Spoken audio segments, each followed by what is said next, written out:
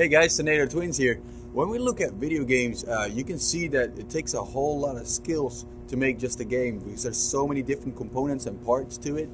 Uh, when you make water or fire, it's totally different from making characters. Uh, programming is different from art, and even within programming, for instance, artificial intelligence is way different from uh, sound programming, for instance. So there's uh, there's all those skills that you need um, in the art of making video games uh, that can make it uh, pretty hard sometimes to make a video game that rocks. So, uh, and by following our channel, you know that we've tried to make it easier to make video games, but since there's so many components to it, uh, we thought we might just make it a lot easier for you. So to do that, we started unityprefabs.com, which is a website where you can find uh, pre-scripted content that you can use to quickly draft your game.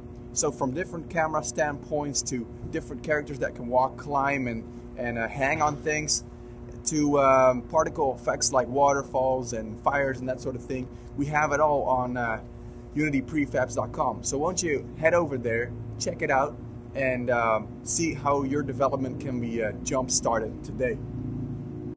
Now I do have to add that these prefabs are not free, and I'll tell you exactly why. The last half year of our channel we've helped thousands and thousands of people and we spend about a day a week of our time into this for free. Now, we still do that and we still love helping people, but since we are helping people all the time, we had to hire uh, professional artists and coders to make these prefabs for you. So uh, you still get the best that is out there uh, because these are, guys are really, really good, but we cannot give everything away uh, for free. I hope you understand.